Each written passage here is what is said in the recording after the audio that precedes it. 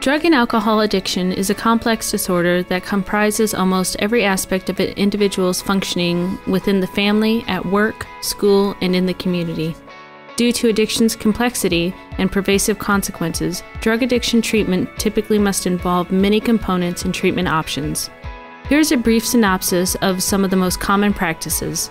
Family behavioral therapy, which has validated positive results in both adults and adolescents, is aimed at addressing not only substance use problems, but other co-occurring problems as well, such as depression and or family conflict.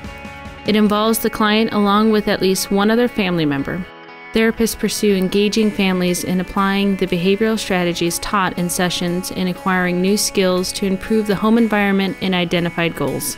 12 step facilitation therapy is an active engagement strategy aimed at increasing the likelihood of a substance abuser becoming affiliated with and actively participating in a 12 step help group, thereby promoting abstinence. Motivational interviewing is a counseling approach that helps individuals resolve their ambivalence about engaging in treatment and hindering their drug use.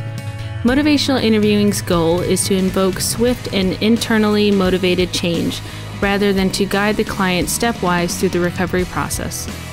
Cognitive behavioral therapy, also known as CBT, was developed as a technique to ward off relapse when treating addiction.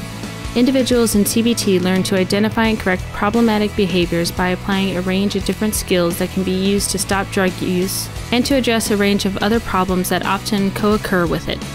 For more help in understanding what treatment modalities are best for you or a loved one, call us now.